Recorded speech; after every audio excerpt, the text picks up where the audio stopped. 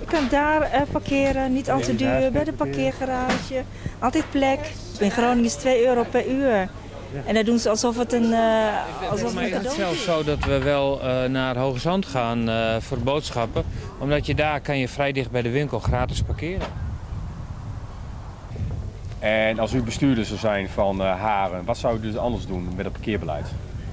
Ehm, nou, misschien het is makkelijker als net als in de parkeergarage dat je gewoon eh, achteraf kan betalen. Maar dat is natuurlijk lastig op zo'n open parkeerplaats, dat snap ik ook. Dus op zich vind ik het wel prima zo. Ik heb altijd plek in de garage ook, dus ik heb er geen last van.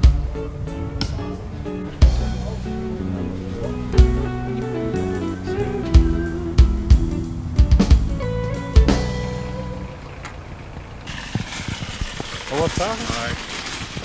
Hoe vaak komt u vanuit eh, Groningen naar Haren om boodschappen te doen? Een keertje of vijf per jaar? Een keertje of vijf per jaar.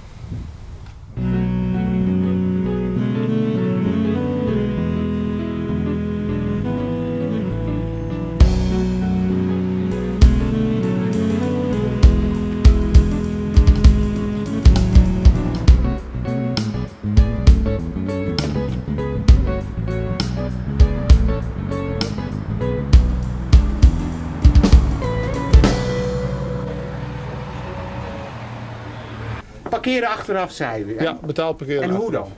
Slagboom voor de parkeerplaats en, eh, en dat is in de parkeergarage.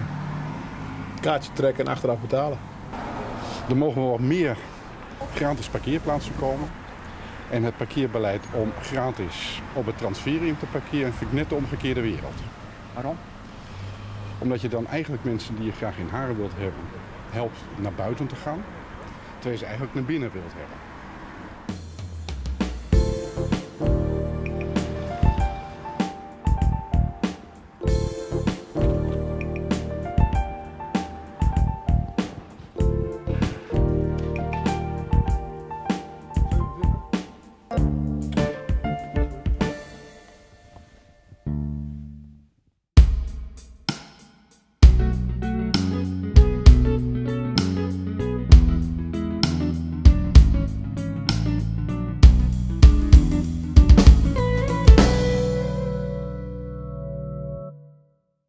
In Haren rijdt sinds kort lijn 254, de servicebus.